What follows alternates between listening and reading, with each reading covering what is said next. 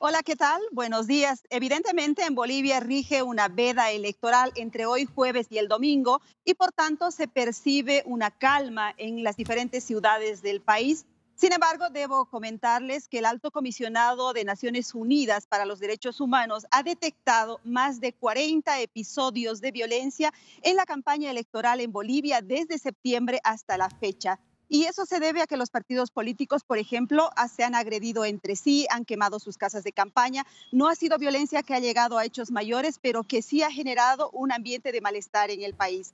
Por otro lado, les comento que en las últimas horas la ciudadanía, sobre todo en La Paz, está haciendo largas filas en los surtidores de gasolina para llenar los tanques de los vehículos y además está recurriendo a los centros de abasto para comprar muchos alimentos, pues existe el temor de que después de las elecciones hubiera algún partido que no quiera reconocer los resultados y se pueda generar violencia. En ese marco, los organismos internacionales que están observando las elecciones han pedido a los partidos que reconozcan los resultados y que garanticen la paz en Bolivia. ¿Cómo está el proceso de transparencia electoral, Mary? ¿Quiénes estarán vigilando los comicios?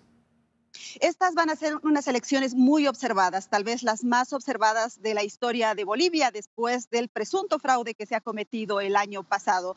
Existen, por ejemplo, misiones de observación de la Organización de Estados Americanos que ha acreditado a 40 expertos de diferentes nacionalidades. Está la Unión Europea, Está también el Centro Carter y como nunca se ha establecido una red enorme de ciudadanos que van a observar las elecciones. Por ejemplo, existe una iniciativa que se llama Bolivia Observa y que aglutina a 2.500 ciudadanos que van a estar mirando la transparencia de este proceso.